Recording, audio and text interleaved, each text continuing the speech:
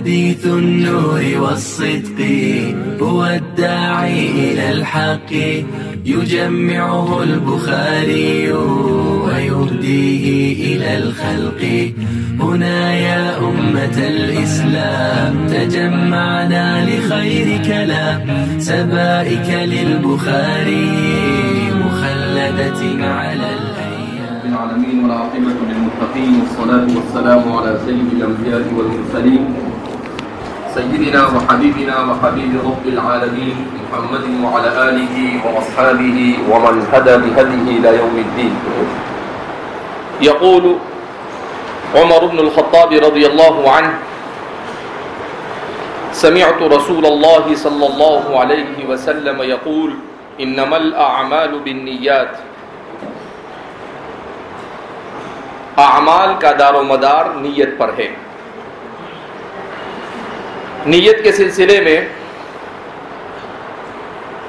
एक बात यह बयान की जाती है क्या कौल के लिए नीयत ज़रूरी है या नहीं? हल यहताजुलकौलू अनीयत अमला तो फरमाते हैं कि बाद हजरात का कहना है कि कौल के लिए नीयत शर्त नहीं है। इसलिए कि अमल के लिए नीयत शर्त है। अलबत् हाफिज इबन हजर असकलानी फरमाते हैं कि इस सिलसिले में कौल के लिए नीयत शर्त के सिलसिले में इमाम बल्कीनी, जिसको हाफिज इबन हजर असकलानी शेखुल इस्लाम से याद करते हैं तो फरमाते हैं कि शेखुल इस्लाम अल बल्कीनी फरमाते हैं, अलकौल यहताजुन्निया कि कौल ये भी नीयत का क्या है? मोहताज है। क्यों? इसलिए कि आमल इंसान अपने इख्तियार से जो कुछ करता है, उसे क्या कहा जाता है? अमल। तो कौल भी अमल है। कौल भी क्या है? अमल है। लिहाजा, जैसे इंसान अपने जवारह से जो काम करता है, उसके लिए नीयत ज़रूरी है। इसी तरीके से कौल के लिए भी नीयत ज़रूरी है। जैसे आदमी सबक पढ़ाता है। अगर वो इस नीयत से पढ़ाता है कि मैं इसलिए पढ़ाता हूँ ताकि ये तलबा कुछ बन जाए और मेरे लिए सदक़ जारिया बन जाए, अल्लाह राज़ी हो जाए। तो उसका ये पढ़ाना क्या है? कार सवाब है। और अगर वो इसलिए पढ़ाता है ताकि तनख्वाह मिल जाए, या वो इसलिए पढ़ाता है ताकि मेरी वाह वाह हो जाए और लोग कहें, क्या हा हा, हज़रत क्या पढ़ाते हैं? तो ज़ाहिर सी बात है, ऐसी नीयत करने से कोई फ़ायदा नहीं। यानी हॉल है, मगर उसने नीयत गलत कर ली। तो ये पूरा साल पढ़ाना, पूरी ज़िंदगी पढ़ाना भी क्या है? बेकार। उससे कोई फ़ायदा नहीं। इंसान तकरीर करे। इंसान किसी के सामने किसी को गश्त में निकला, दो चार बातें समझाए और वो ये नीयत करे, ताकि सामने वाला ये कहे कि हज़रत बहुत भारी समझाते हैं।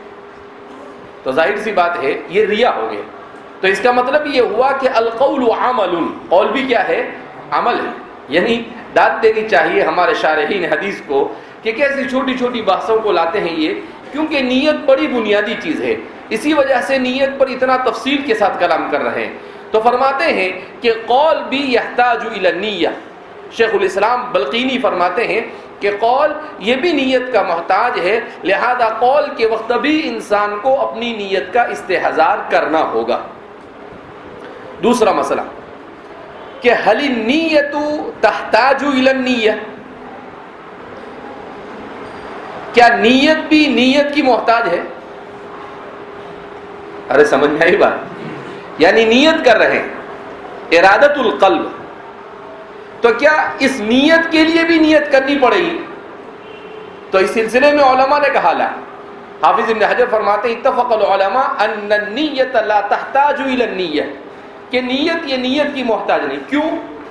इसलिए कि अगर नीयत के लिए भी नीयत की ज़रूरत हो तो इस सूरत में तसलसल लाजिम आएगा कि फिर उस नीयत के लिए भी नीयत की ज़रूरत तो कब तक के नीयत करता रहेगा? कुछ काम भी करेगा कि सिवाय नीयत के और दूसरा कुछ करेगा ही नहीं। समझ में आई बात? तो इसलिए फरमा रहे हैं कि तसलसल लाजिम आ रहा है।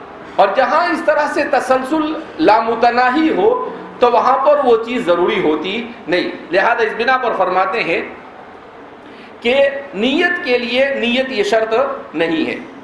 इमाम गजाली फरमाते हैं कि इंसान जिन कामों को करता है, वो तीन तरह के होते हैं। एक तो होते हैं ताआत, और दूसरे होते हैं मासी, और तीसरे होते हैं मुबाहात। तो फरमाते हैं कि ताआत में नियत करने से ताआत का वज़न बढ़ जाता है। जितनी नीयत अच्छी, उतना उस पर सवाब ज़्यादा और इंदल्लाह मकबूलियत ज़्यादा। और जितनी नीयत इंसान की कम होगी, कम दर्जे की होगी, उतना सवाब कम मिलेगा। मासी। इमाम गजाली चूँकि फलसफी भी थे मुतकलम भी थे, फ़कीह भी थे, उसूली भी थे हरफन मौला थे। ूम माकूला और ूम मनकूला और ूम बातिनिया के जामिया थे।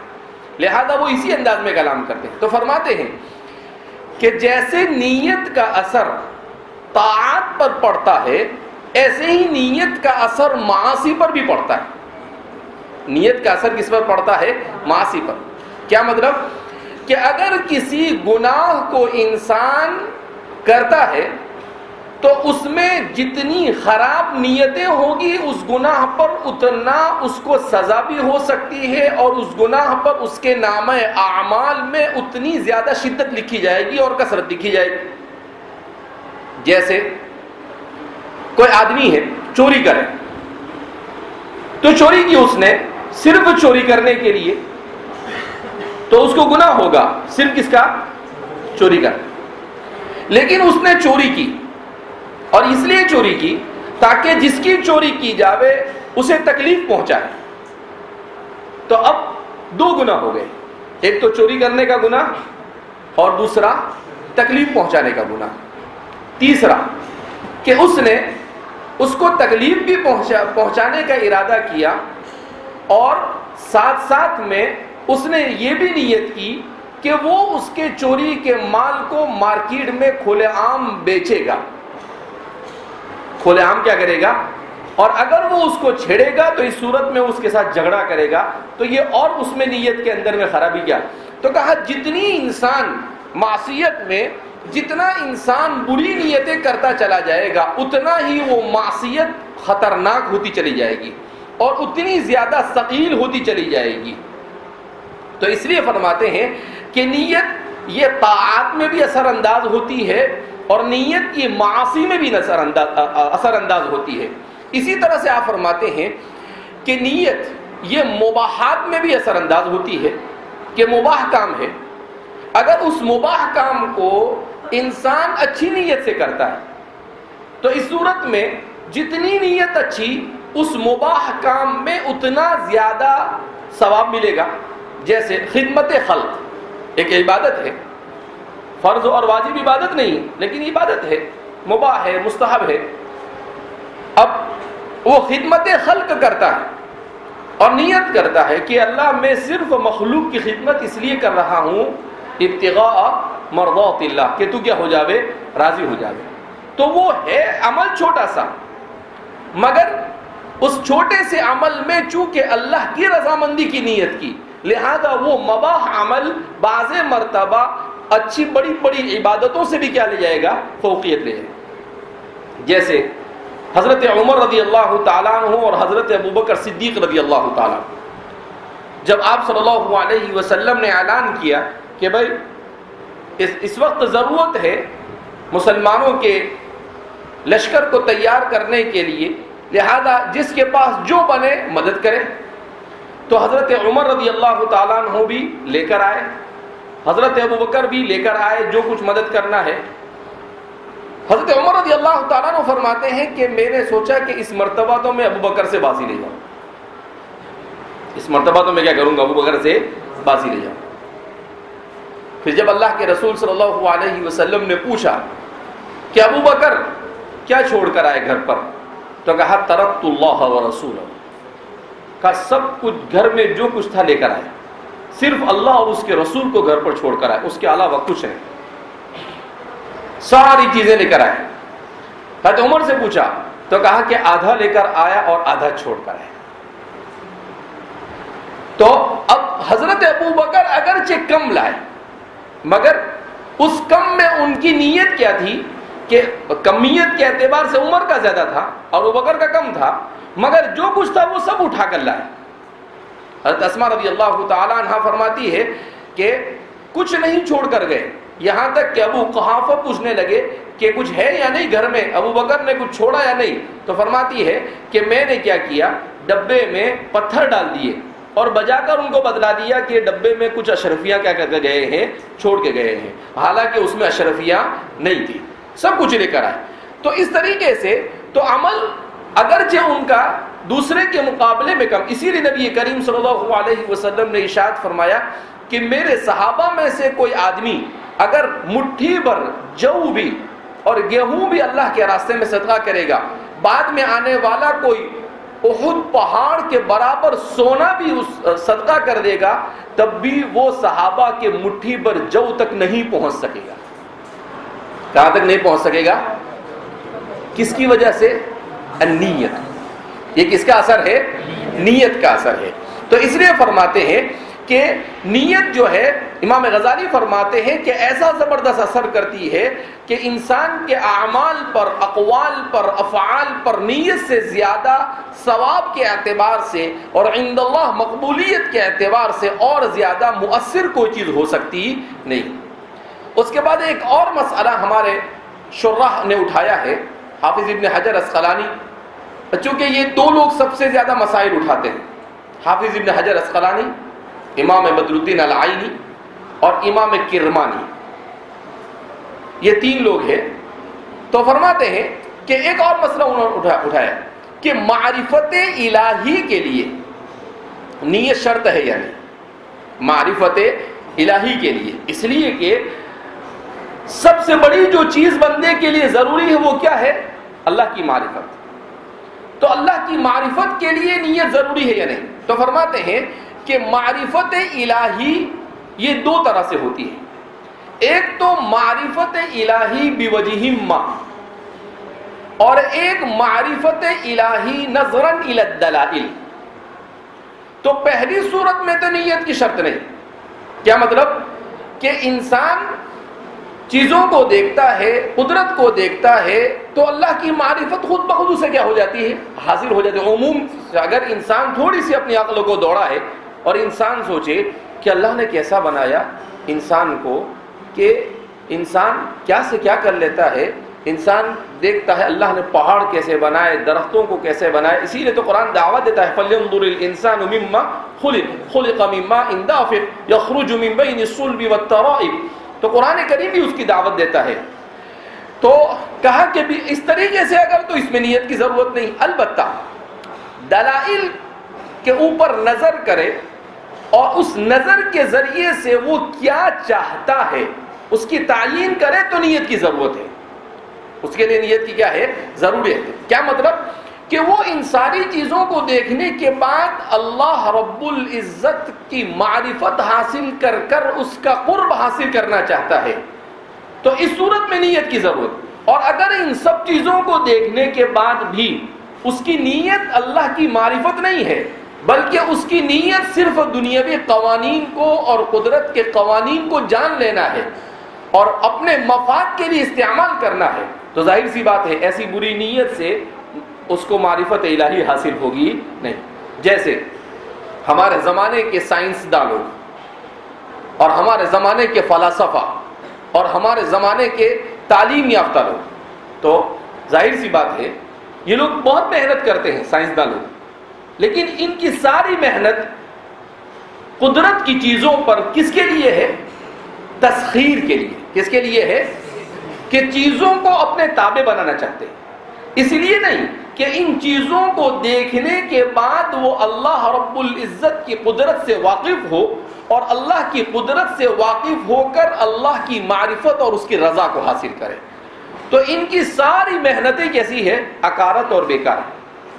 सारी मेहनतें क्या है? बेकार तो फरमाते हैं कि इससे क्या मालूम हुआ कि नजरन दलाइल दलाइल की तरफ़ देखते हुए तो ये देखना पड़ेगा कि इंसान किस नीयत के साथ मेहनत कर रहा है। इंसान कुदरती कवानीन को अपने कब्जे में करने के लिए अगर सिर्फ़ तस्हीर कायनात की गर्ज से वो ये काम कर रहा है तो ये क्या है? दुनियावी गर्ज है। उसकी नीयत क्या हो गई? दुनिया के लिए नीयत हो गई।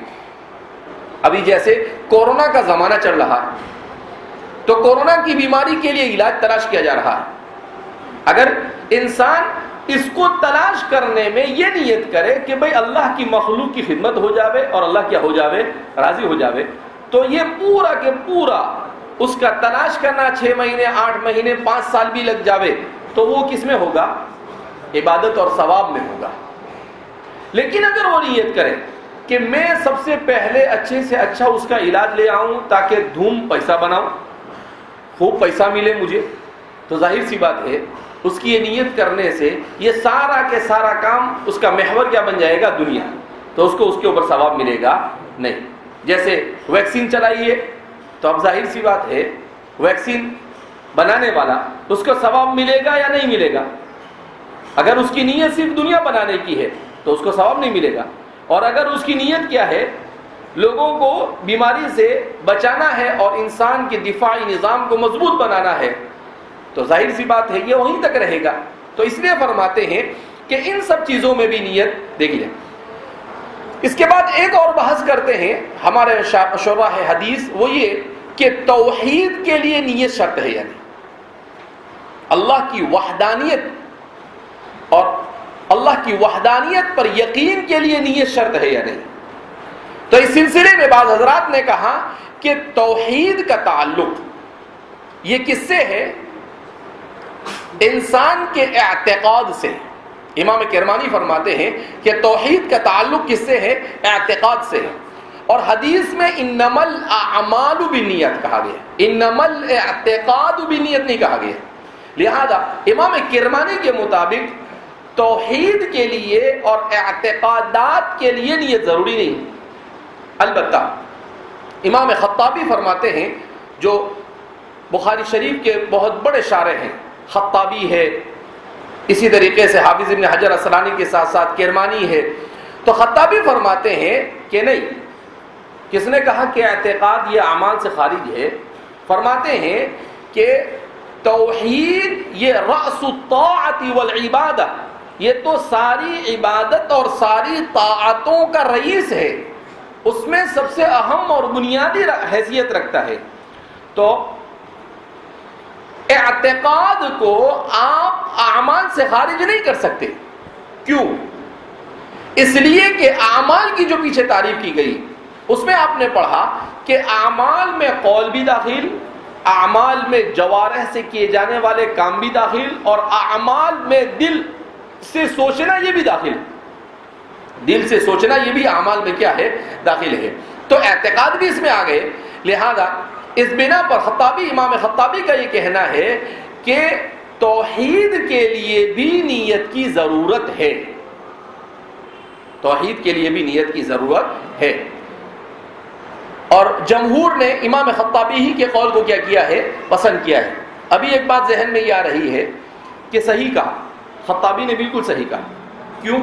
इसलिए कि कभी कभी तोहीद के लिए आदमी तोहीद वहदानियत को तो मानता है, मगर वहदानियत को मानकर अल्लाह को मानने का जज्बा नहीं होता है इंसान में।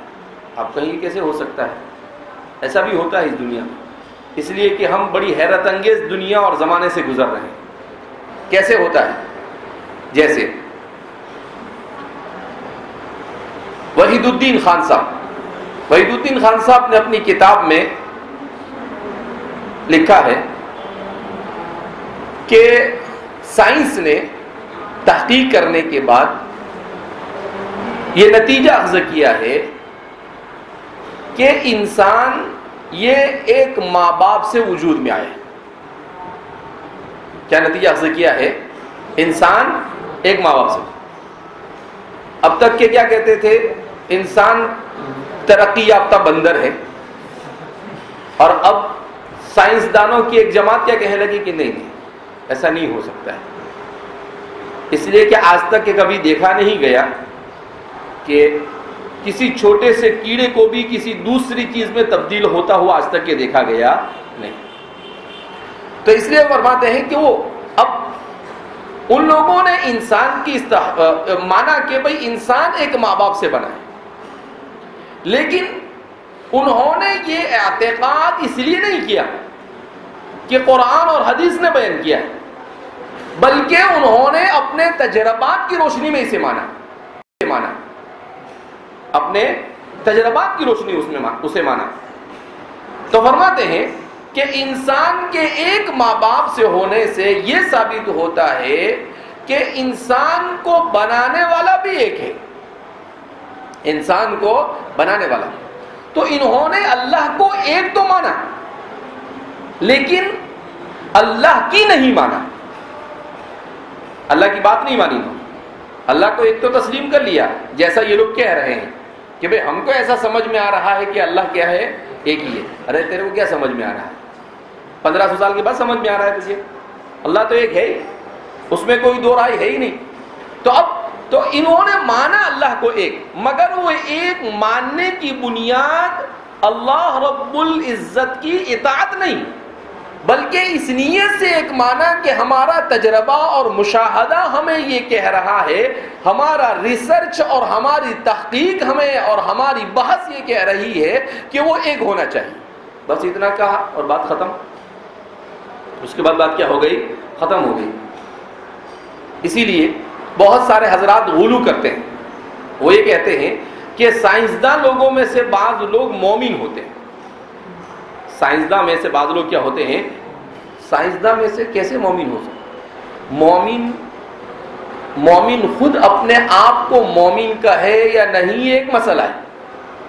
हज़रत साद इब्न अबी वक्कास रज़ी अल्लाह तआला फरमाते हैं कि नबी करीम सल्लल्लाहु अलैहि वसल्लम ने एक मरतबा माल तकसीम किया तो एक शख्स को नहीं दिया। तो मैंने अल्लाह के रसूल सल्लल्लाहु अलैहि वसल्लम से कहा कि अलैसा मुमिनुन हादा? क्या ये मोमिन नहीं है? तो आप सल्लल्लाहु अलैहि वसल्लम ने मेरे चेहरे की तरफ़ देखा और कहा, मोमिन, आप सवाल करो, अलैसा मुस्लिम हादा?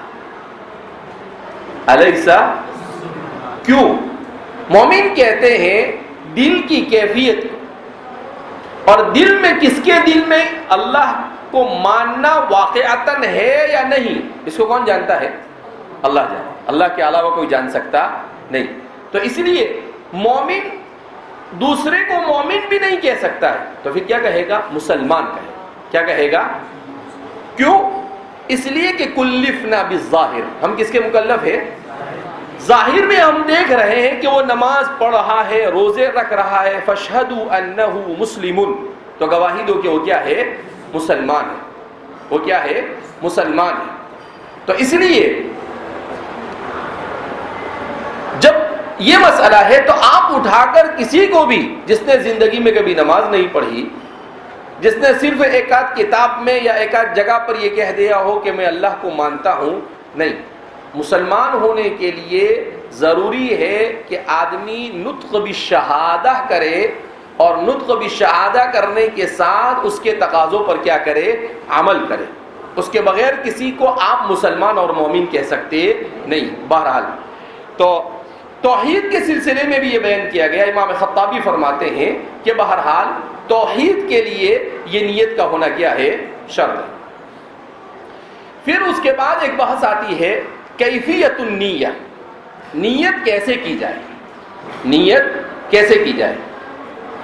तो कैफियत नीयत के सिलसिले में एक बात तो ये बयान की जाती है कि क्या सिर्फ़ दिल से इरादा कर देना काफ़ी है या जबान से तलफुज ज़रूरी है? सिर्फ़ दिल से इरादा कर देना काफ़ी है, जबान से तलफुज ज़रूरी है। तो बात हजरात का कहना यह है कि दिल से इरादा कर देना यह काफ़ी है। तलफुज बिल्लिजान ये ज़रूरी नहीं जबान से तलफुज करना नीयत का ये ज़रूरी नहीं है। अलबत्ता, जब इंसान जबान से तलफुज करेगा तो तलफुज की दो शक्लें, या तो वो बिलजहर करेगा या बिसिर करेगा। यानी या तो ज़ोर से वो तलफुज करेगा या हिस्सा तलफुज करेगा। तो तलफुज बिल जहर, नीयत का तलफुज बिल जहर इस पर तो अहले सुन्नत वल जमात का इत्तेफाक है कि इन्नहू बिदातुन, के बिदात नमाज़ में खड़ा हुआ। मैं दो रकात नमाज़ पढ़ता हूँ, मुँह मेरा काबा शरीफ की तरफ़, जहर की, आज की, अल्लाह के वास्ते। भाई, इतने बहुत ज़ोर से बोलने की क्या ज़रूरत तेरे जहर का बिदात इसलिए कि किताब और सुन्नत से कहीं से भी जहरन नियत करना यह साबित नहीं। तो मुतफक आलही तौर पर इसे क्या करार दिया गया है? बिदात करार दिया गया। अब जब जहरन नहीं करेगा तो बिसिर अब सिरन उसके ऊपर नीयत का क्या हुक्म है? तो नीयत के सिरन करने के सिलसिले में शवाफे का कहना यह है कि सिर्फ़ इरादतुल कल्ब काफ़ी नहीं, बल्कि सिरन जबान से उसकी अदायगी उसे करनी पड़ेगी और ये वाजिब है। नीयत बिसिर वाजिब शवाफे के जबान से अदा करे वो। ये शवाफे के नज़दीक ये क्या है? वाजिब है। और अहनाब के यहाँ पर नीयत का तलफुज बिल्लिसान बिसिर ये मुस्तहब है। नीयत का तलफुज बिल्लिसान और बिसिर ये क्या है? मुस्तहब है। क्या मतलब? अहनाफ कहते हैं कि असल में तो नीयत नाम है इरादतुल कल्ब का। किसका नाम है? इरादतुल कल्ब का। आपने दिल से नीयत कर ली, बात खत्म हो गई। हाँ अलबत्ता। इंसान जब उस इबादत को शुरू करे, उस वक्त वो इस्तेजार नीयत के लिए और अपने अमल में खुशू और खुजू को पैदा करने के लिए अगर आहिस्ता से जबान से कह दे तो ये मुस्तहब है। तो ये क्या है? मुस्तहब है। इस्तेहबाब से ज़्यादा उसका दर्जा नहीं है। इमाम अहमद इब्न हम्बल और इमाम मालिक, मालिकिया और हनाबिला के यहाँ पर नीयत बिसिर यानी जबान से नीयत को आहिस्ता कहना यह भी बिदात है। जबान से नीयत को आहिस्ता कहना यह भी क्या है? बिदात है। वो कहते हैं कि नहीं, दिल से हो गई बात खत्म हो गई। बिसिर आपको जबान से बोलने की कोई ज़रूरत है नहीं। तो इसलिए मालिकिया और हनाबेला के यहाँ पर जैसे नीयत बिलजहर बिदात है, ऐसी, इसी तरीके से नीयत बिसिर ये भी क्या है? बिदात है। फिर उसके बाद एक बहस ये आती है कि नीयत, ये हर इबादत में ज़रूरी है या नहीं? तो इस सिलसिले में शवाफे और हनाबिला और मालिकिया के यहाँ पर अनीयतुलिकुल्ल इबादा नीयत हर इबादत के लिए। बल्कि इमाम अहमद इब्न हम्बल और इमाम मालिक की तरफ़ तो एक रिवायत ऐसी है कि मामलात में भी नीयत ज़रूरी है। जबकि शवाफे वगैरह के यहाँ, उनके यहाँ पर भी एक रिवायत, यानी दो रिवायतें लेकिन अहनाब का कहना यह है कि नीयत इबादत में भी मुतलब ज़रूरी नहीं, बल्कि इबादत की दो किस्में। एक है इबादत महजा, जिसको कहेंगे इबादत मकसूदा, और दूसरी है इबादत गैर महजा, जिसको कहेंगे वसाइल और जरा इबादत। तो फरमाते हैं कि इबादत मकसूदा में नीयत शर्त है, अहनाफ के यहाँ पर। नमाज़ के लिए नीयत शर्त है। इसी तरीके से रोज़े के लिए नीयत शर्त है। तो ये इबादत मकसूदा है। जो भी इबादत मकसूदा है, उसके लिए नीयत शर्त। लेकिन जो इबादत इबादत मकसूदा नहीं है, बल्कि वसीला और ज़रिया है तो ऐसी इबादतों के लिए नीयत शर्त नहीं। जैसे वज़ू करना तो इसमें नीयत शर्त नहीं है। क्यों नीयत शर्त नहीं है? तो फरमाते हैं इसलिए कि वज़ू इबादत मकसूदा नहीं। हाँ अहनाफ ने यह कहा कि नीयत सुन्नत है। नीयत क्या है? सुन्नत है। तो अहनाफ ने क्या किया कि किताब और सुन्नत दोनों को जमा किया कि कुरान करीम ने जब वज़ू के फराइज को बयान किया तो उस वक्त क्या कहा इदा कुम तुम सलाती फ़सिलु वजूहकुम व अयदियकुम इलल मराफिक वमसहु बिरुऊसिकुम व अर्जुलकुम इलल किसको बयान किया? चार। तो अब इबारतुन्नस से इन चार फराइज को बयान किया गया। और जब इबारतुन्नस से किताबुल्लाह में इनको बयान किया गया तो इस पर ज्यादती खबर वाहिद के ज़रिए से आप कर सकते नहीं। लिहाजा किसी और फ़र्ज़ का इजाफा आप नहीं कर सकते हैं। तो इसलिए अहनाफ ने कहा, किताबुल्लाह इस बात की मुतकाजी है कि नीयत क्या नहीं होनी चाहिए, यहाँ पर नहीं होनी चाहिए। अलबत्ता, नबी करीम सल्लल्लाहु अलैहि वसल्लम से मनकूल है और इनमल आमाल बिनियात जैसी हदीसों में नीयत की अहमियत को बयान किया गया, लिहाजा इसे सुन्नत करार दिया जाए इसे क्या करार दिया जावे? सुन्नत। तो क्या होगा? किताबुल्लाह पर भी अमल हो जाएगा और सुन्नत रसूलुल्लाह पर भी अमल हो जाएगा और दोनों को जमा करना क्या आ जाएगा? लाजिम आ जाएगा। तो इस तरीके से अहनाफ ने तो फिर अहनाफ के ऊपर एक एतराज़ होता है कि फिर अहनाफ तयम में नीयत को क्यों ज़रूरी करार देते हैं? तो तयम में नीयत इसलिए ज़रूरी है कि जिस चीज़ से तयम किया जा रहा है जिन से अर्द से तो जिनसे अर्द ये इसालतन ताहिर और मुताहिर नहीं। ताहिर और मुताहिर, इसमें नीयत करने से उसमें ततहीर आती है। एक बात, दूसरी बात अहनाब ने कही कि असल में कुरान करीम ने जब तयम का हुक्म दिया तो उस हुक्म के वक्त ही नीयत का मुतालबा किया है। क्या कहा कुरान करीम ने?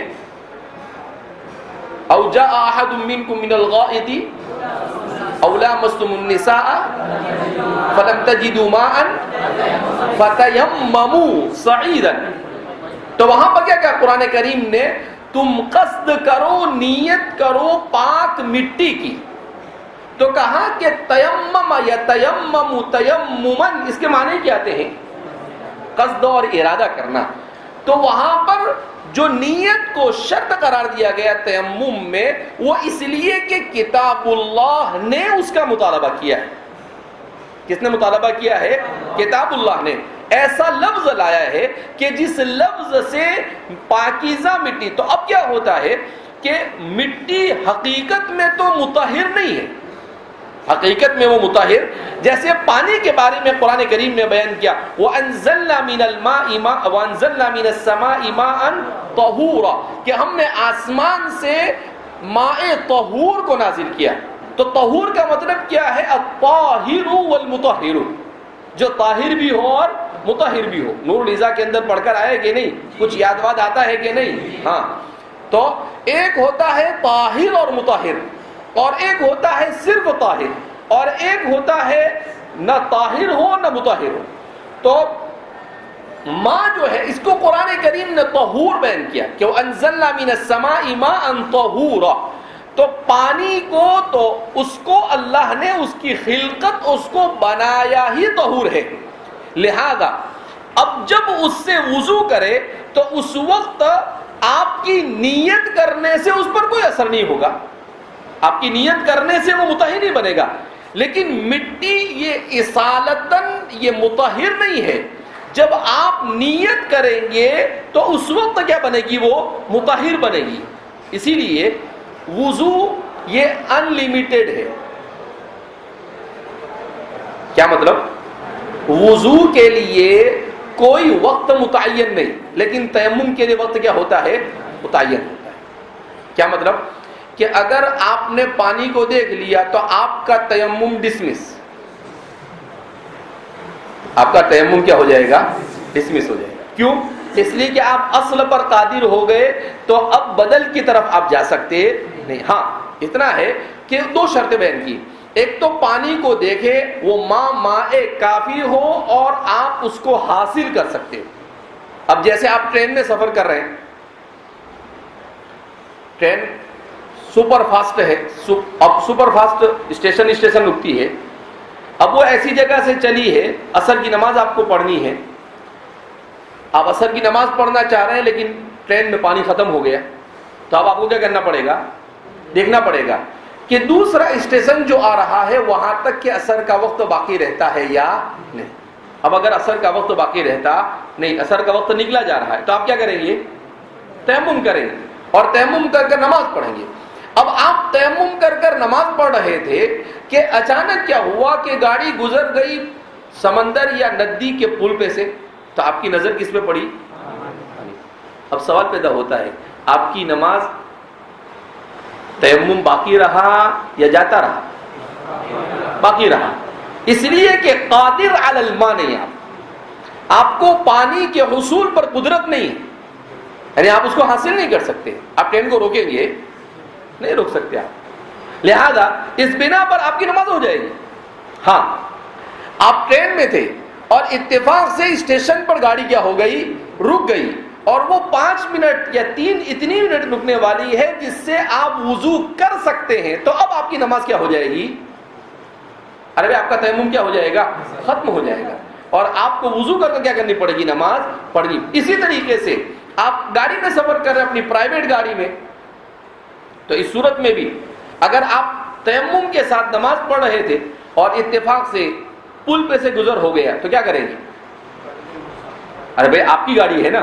आप रोक कर वहाँ जाकर वज़ू करके नमाज़ अदा कर सकते हैं। लिहाजा आप तो इसलिए फरमा दो चीज़ें हो। एक तो माँ पर कादिर हो और दूसरा वो माँ माए काफ़ी हो। दूसरा माँ क्या होना चाहे? माए काफ़ी होना चाहिए बहरहाल तो असल बहस हम ये कर रहे थे कि तयमुम में नीयत क्यों शर्त है और वज़ू में नीयत क्यों शर्त नहीं? तो तयम और नीयत में के, के दरमियान यही फ़र्क है। एक तो कुरान ने मुतालबा किया तयमुम में और वज़ू में मुतालबा नहीं किया। और दूसरा कि तयम ये बदल है असल नहीं है। नीयत के ज़रिए से उसे मुतहिर बनाया जाता है पाकिजा उस मिट्टी को। और यहाँ पर पानी ये पहले से ही अल्लाह ने उसको तहूर नाजिल किया है, लिहाजा आपकी नीयत की ज़रूरत है। नहीं तो ना तो अकलन नीयत की ज़रूरत है और ना नकलन नीयत की ज़रूरत है वज़ू में। फिर एक और बहस छेड़ दी कि नीयत ये शर्त है या रुकन? नीयत ये शर्त है या रुकन? तो इमाम शाफी रही के यहाँ पर नीयत ये रुकन है। नीयत ये क्या है? रुकन है और अहनाफ के यहाँ पर नीयत ये शर्त है। नीयत ये क्या है? शर्त है। क्यों? इसलिए कि अहनाफ कहते हैं, रुकन कहते हैं किसी चीज़ की दाखिले शे को। उस चीज़ के दाखिल से उसका ताल्लुक, उसे क्या कहा जाता है? रुकन कहा जाता है। जैसे नमाज़ में कियाम, ये क्या है? रुकन है। तो ये दाखिले नमाज़ है ना? ये क्या है? दाखिले नमाज़ है। लेकिन नीयत ये शर्त है अहनाफ के नज़दीक। क्यों? इसलिए कि अहनाफ कहते हैं कि नीयत की जाती है इबादत को शुरू करने से पहले। नीयत कब की, कब की जाती है? इबादत को शुरू करने से। तो ये दाखिले शे हुई या खारिज शे हुई? जब खारिज शे हुई तो आप उसूलियन के एतबार से इसे रुकन नहीं कह सकते। बल्कि क्या कहना पड़ेगा आपको? शर्त। तो कहा, जहाँ पर भी नीयत का वजूब होगा, वो शर्त होने की हैसियत से होगा। वो कैसे होगा? शर्त होने की हैसियत से। और शवाबे फरमाते हैं कि नहीं, नीयत ये क्या है? शर्त नहीं, बल्कि क्या है? रुकन है। तो वो कहते हैं कि क्यों नीयत रुकन है? तो उनका ऐसा कहना है कि पूरी इबादत की सेहत का मदार ही नीयत पर है। अगर नीयत नहीं तो इबादत ही नहीं। इसका मतलब ये है कि ये रुकन हुआ। इसका मतलब ये क्या है? तो अहनाब ने उसका जवाब दिया कि वज़ू नमाज़ के लिए क्या है? ज़रूरी है ना? वज़ू के बगैर नमाज़ होगी? नहीं। मगर उसके बावजूद इबादत मकसूदा कौन है? नमाज़ वज़ू तो क्या है? ज़रिया है। तो ये ज़रिया और वसीला है। तो किसी चीज़ का उस, यानी किसी फ़र्ज़ का मदार किसी चीज़ पर होना, ये उसके रुक न होने की दलील नहीं है। बल्कि शर्त होने से भी ये बात क्या हो जाती है? साबित हो जाती है। क्योंकि रुकन होने के लिए उसका दाखिले से होना ज़रूरी है और उसका तहक़ुक शर्त में नहीं हो पा रहा है। नीयत में नहीं हो पा रहा है। लिहाजा इस बिना पर नीयत को रुकन कहा जा सकता नहीं है, बल्कि नीयत को क्या कहा जाएगा? शर्त कहा जाएगा। इमाम रजब अलहम्बली ने इस पर बड़ी तफसील के साथ बहस की है। और बहुत कोशिश की है इसे रुकन साबित करने की, मगर किसी तरीके से वो इसमें कामयाब हो सके नहीं। बल्कि सही यही है कि उसूलियीन ने जो उसूल बनाया है, उन उसूल की रोशनी में नीयत को शर्त ही करार देना पड़ेगा। नीयत को क्या नहीं करार दे सकते हैं? रुकन करार नहीं दिया जा सकता है उसूल फिकह की रोशनी में। फिर उसके बाद एक बहस ये आती है कि अगर कोई आदमी नीयत करता है और नीयत के ज़रिए से किसी इबादत को शुरू करता है तो क्या? नीयत इखलास। इसका वजूद शुरू से लेकर आखिर तक ज़रूरी है या नहीं?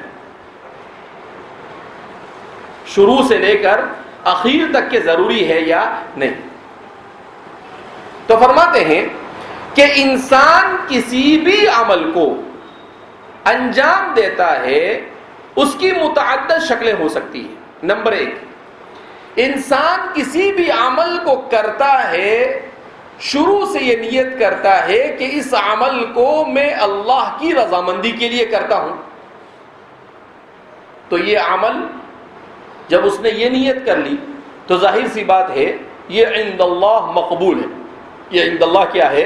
मकबूल अगर कोई आदमी ये नियत करे कि मैं इस इबादत को कर रहा हूँ, मगर अल्लाह के लिए नहीं, अल्लाह के लिए नहीं, बल्कि इसलिए ताकि लोग मुझे कहे कि हज़रत बहुत बड़ा नमाजी है। हज़रत बहुत बड़ा क्या है? नमाजी। तो अब ज़ाहिर सी बात है ये अमल तो किया, मगर खालिसतन लिवजहिल्ला नहीं, बल्कि ये अल्लाह के साथ शिरक किया उसने। ये ने लिखा है कि इंसान अमल को सिर्फ़ इसलिए करे कि दिखलावा हो जावे और अल्लाह की रजा का दूर दूर तक कोई वास्ता ना हो तो ऐसे अमल को निफाक कहा जाता है। ऐसे अमल क्या कहा जाता है? निफाक कहा जाता है। आदमी ने जैसे नमाज़ पढ़ी आपने मस्जिद में आकर। लेकिन क्यों नमाज़ पढ़ी? इसलिए कि आपको उठाया और उठाकर आपको मस्जिद में पहुँचा दिया ज़बरदस्ती तो आपने वो भेड़ की तरह किया। हल अंत तारीफिल भेड़। भेड़ जो होता है ना, मेंढा जिसको कहते हैं। तो इसमें कैसा होता है मालूम? उसको जो, उसका जो हारिस होता है, उसको संभालने वाला होता है, उसके लिए उसका संभालना बहुत आसान है। एक को वो अपने हाथ में रखता है। बाकी सब उसके पीछे पीछे, नीचे मुड़ी डाल के चलते रहते सूफी साहब। इसलिए कहते हैं कि अगर एक भेड़ कुएँ में कूद जाए तो उसके पीछे आँख बंद करके दूसरे सब क्या हो जाते हैं? कूद जाते हैं। वो सोचते नहीं कि अंजाम क्या होगा, नतीजा क्या होगा, कुछ नहीं। ये क्यों कूदा? मैं इसके पीछे। तो अगर आप भी मस्जिद में आए कि भाई उठा दिया है, आ गए हैं, सब उठक बैठक कर रहे हैं, अपन भी इसमें क्या हो जावे? शामिल हो जावे। तो अंत वहु सवा। तो आप में और भीड़ में कोई फ़र्क नहीं रहा। क्यों? इसलिए कि आप जब आए नमाज़ के लिए तो होना यह चाहिए था कि आप जब सोए उस वक्त नियत करें कि अल्लाह, ये कैलूला कर रहा हूँ, न कि लईलूला कर रहा हूँ। कैलूला पंद्रह बीस मिनट या आधे घंटे का होता है। और उसी को अगर आदमी घंटा, दो घंटे सो लेवे तो सारा लईलूला तो ये क्या बन जाता है? लईलूला बाद हजरात ने इसका नाम दिया है कि अगर आदमी दो घंटे सो लेवे तो ये कैलूला नहीं है, ये गईलूला है। क्या हो जाता है ये? गईलूला तो अब बहरहाल जो भी आप सोए और सोते वक्त आपने ये नीयत की कि भाई, जोहर की अजान हो तो मुझे उठ जाना है। इसलिए कि मुअज्जिन कहेगा हैया अलसला नमाज़ की तरफ़ आओ। हैया अलफलाह कामयाबी की तरफ़ आओ। तो मुझे उठकर मस्जिद जाना है। अगर यही आपने नियत कर ली तो आपका सोना भी इबादत बन गया। फिर जब आप उठे तो उठते वक्त आप पर अगरचे बोझ तो होता है इंसान पर कि इतनी मीठी नींद को कुर्बान कर रहे हैं आप। तो आप नींद को कुर्बान करें। लेकिन उठते वक्त आप ये कहें कि भाई ठीक है, नींद आ रही है, लेकिन नहीं, मुझे नमाज़ पढ़ना है। मुझे क्या करना है नमाज़? तो ये कहकर आप मस्जिद में आए, बेहतरीन अंदाज में वज़ू किया इसबाउलवजू या मकार आपको मकार की दो सूरतें बयान की कि ठंडी में अगर आदमी दिल नहीं करता है ऐसा करके थरथराता है। उसके बाद भी क्या करता है? अच्छे से वज़ू करता है। कहा कि यह इसबाउलवजन लेकिन एक बात मुहदसी ने भी लिखी है कि इसबाउलवजू या मकारे का एक मतलब ये भी होता है कि आदमी का दिल तो नहीं चाहता है कि वज़ू करे और नमाज़ पढ़े, मगर फिर भी वो अपने दिल को क्या करता है? मारता है। आगे नहीं। तू तो कुछ भी बोलेगा। तेरा चलने वलने वाला है नहीं। मैं तो करूँगा अल्लाह के लिए इबादत। तो ज़बरदस्ती करें। तो फरमाते हैं, ऐसी सूरत में तो बंदे को डबल सवाब मिलता है। क्यों डबल सवाब मिलता है? एक तो इबादत करने का और दूसरा अपने नफ्स की मुखालफत कर कर ज़बरदस्ती उस अमल को अल्लाह के खातिर करने का। तो इसमें उसकी मशक्कत ज़्यादा है। और फिका का कायदा है कि जितनी मशक्क़त ज़्यादा होगी, उतना अजर ज़्यादा मिलेगा। अलमऊनत बेकदरिल मशक्क़ा। जितनी मशक्क़त ज़्यादा, उतनी मऊनत क्या होती है? ज़्यादा। लिहाजा, लेकिन आदमी ये सोचे कि यार मका ज़बरदस्ती उठाने आ जाते हैं। चलो, अभी नहीं जाएँगे, हाजिरी वाजरी हो गई तो मार पड़ेगी, टकला होगा। उससे बेहतर तो ये है कि जाके पढ़ ले तो अब ये इबादत, ये निफाक है। ये क्या है? निफाक। आपने पढ़ा मगर आपका इस पर आपको कोई अजर मिलेगा नहीं। पढ़ना, न पढ़ना दोनों क्या हो जाता है? बराबर। इसलिए आदमी जब किसी इबादत और किसी ताकत या किसी मुबाह को करे तो आदमी को क्या करना चाहिए? उसमें थोड़ा सा अपने नफ्स को या तो मना लेना चाहिए। नहीं मानता है तो ज़बरदस्ती आप उस इबादत को अल्लाह की रजा के खातिर इस्तेजा करके अदा कर ले तो वो इबादत आपकी बन जाती है। तो इसलिए फरमाते हैं कि निफाक है। और तीसरी सूरत यह है कि आदमी किसी अमल को शुरू करता है तो शुरू में उसकी नीयत सही होती है, लेकिन बीच में फिर उसकी नीयत क्या हो जाती है? छूट जाती है। यानी बीच में पहुँचने के बाद उसकी नीयत बदल जाती है। और वो सोचता है कि चलो, अल्लाह के लिए शुरू तो किया लेकिन लोग भी तो देखेंगे ना कि सुबिसाब आदमी है। तो अब इस सूरत में क्या होगा? तो बाद हज़रत ने कहा कि अगर शुरू करे किसी इबादत को इखलास के साथ और बीच में रियाकारी टपक आए तो इस सूरत में यह देखा जाएगा कि वो जो रियाकारी आई, उस रियाकारी को आपने अपने दिल में और ख्याल में जगह दी या नहीं? अगर वो आई और आपने कहा, नहीं नहीं, ये तो गलत चल फुट क्यों लोगों के लिए करना है तो अल्लाह के लिए कर। तो अब उससे कोई फ़र्क, कहा ऐसी थोड़ी देर के लिए रियाकारी है तो वो रियाकारी इबादत पर असर अंदाज होगी नहीं।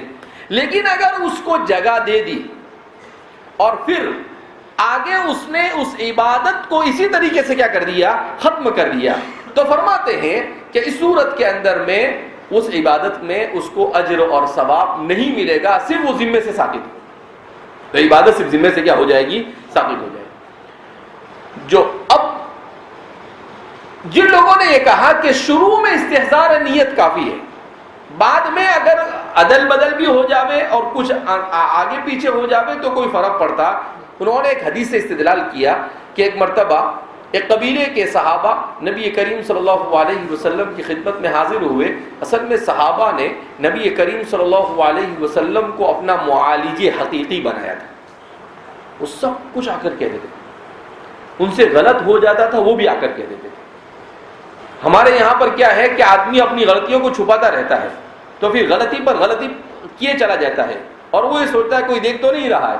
लेकिन आदमी अगर किसी से बैत कर लेवे, किसी से मुंसलिक हो जावे तो आदमी को उसके सामने अपनी अच्छाइयाँ कम और अपनी बुराइयाँ ज़्यादा बयान करनी चाहिए। इसलिए कि अच्छाई तो अल्लाह के लिए कर रहा है। लेकिन अपने अंदर जो कमी है, वो बयान क्यों? आपकी कमी आप बयान करेंगे तो वो आपको उसका इलाज बतलाएगा। तो हज़रत साहबा ने अल्लाह के रसूल सल्लल्लाहु अलैहि वसल्लम की खिदमत में हाजिर होकर कबील बनुसलमा ने कहा अल्लाह के रसूल सल्लल्लाहु अलैहि वसल्लम, हम जिहाद में आपके साथ शरीक होते हैं। तो हमारी नीयत तो यही होती है कि तकून कलिमतुल्लाहिया मगर कभी कभी ऐसा होता है कि जिहाद खत्म होता है, वहाँ तक कि हमारी नीयत अच्छी होती है। सहाबा देखो कितना छोटी छोटी चीज़ों को अल्लाह के रसूल से पूछते थे। लेकिन उसके बाद जब माले गनीमत उठाना हम शुरू करते हैं तो उस वक्त हमारी नीयत माल गनीमत में भी हम ललचाने लगते हैं। तो अगर कोई आदमी जिहाद की नीयत से लितकून कलीमतुल्लाहिया की नीयत से शरीक हुआ, फिर उसके बाद जब माल गनीमत लेने लगे, उस वक्त उसने माल गनीमत की नीयत की और इस हाल में वो शहीद हो गया। फहल हुआ शहीद अमला क्या साहब पूछ रहे हैं कि क्या वो शहीद होगा या नहीं? तो आप सल्लल्लाहु वसल्लम ने कहा, इन्नहु शहीद। इन्नहु शहीद। कि भाई, शुरू से लेकर आखिर तक उसकी नीयत तो क्या है? लितकून कलीमतुल्लाहिया हाँ ये बीच में तो कभी कभी गैर इख्तियारी तौर पर भी इंसान के दिल में ऐसे वसाविस क्या हो जाते हैं, आ जाते हैं। तो कहा ऐसे वसवसे के आने से उस पर कोई असर होता नहीं। लिहाजा जो लोग ये कहते हैं कि इस्तेजार नीयत सिर्फ़ शुरू में काफ़ी है और फिर उसके बाद आ, उसके बाद कुछ भी हो जावे तो कोई फ़र्क पड़ता नहीं वो इससे इस्तेदलाल करते हैं। और बाज हजरात ने कहा नहीं अगर आपकी आधी इबादत नीयत सहीहा के साथ है तो आधी का सवाब मिलेगा और आधी का सवाब उड़ जाएगा। जहाँ से आपकी नीयत बदली वहाँ से आपका सवाब क्या हो जाएगा? खत्म हो जाएगा। इबादत जिम्मे से साकिद हो जाएगी। मगर जहाँ पर नीयत और अगर बीच में आपने नीयत अच्छी की, फिर बीच में थोड़ी देर के लिए नीयत बिगड़ गई, फिर उसके बाद आपने अपनी नीयत को क्या कर लिया? दुरुस्त कर लिया। तो इस सूरत में आपकी इबादत क्या हो जाएगी? सही हो जाएगी। बहरहाल, नीयत के किसी भी पहलू को हमारे फुकाहा ने नजरअंदाज किया नहीं है। क्यों? इसलिए कि हदीस में इनमल आमाल बिनियात और ये दुनिया है ही आमाल साल के लिए। और जब आमाल सालिहा का मदार पूरा के पूरा किस पर है? नीयत पर है। तो ज़ाहिर सी बात है, नीयत के तमाम पहलुओं से वाकिफ होना ये मुसलमान के लिए, तालब इल्म के लिए और एक आलिम के लिए क्या है? ज़रूरी है। बहरहाल, नीयत से मुतालिक जितने मबाहिस हो सकते थे, उन तमाम के तमाम मबाहिस को समीट कर इख्तसार के साथ आप हजरात के सामने बयान करने की कोशिश की। अल्लाह रब्बुल्ज़त हमें नीयत के सिलसिले में जो कुछ सुना गया, उन सब पर अमल करने की तोफीक मरहमत फरमाए। रियाकारी से, उजब से, किब्र से, फ़ख्र से अल्लाह रब्ज़त इख्तियाल से हमारी हिफाजत फरमाए और अल्लाह रब्ज़त अखलास और लाहीत के साथ पढ़ने और पढ़ाने की और जो कुछ पढ़ें, उस पर अमल करने की हम सबको तोफ़ी मरहमत फरमाए।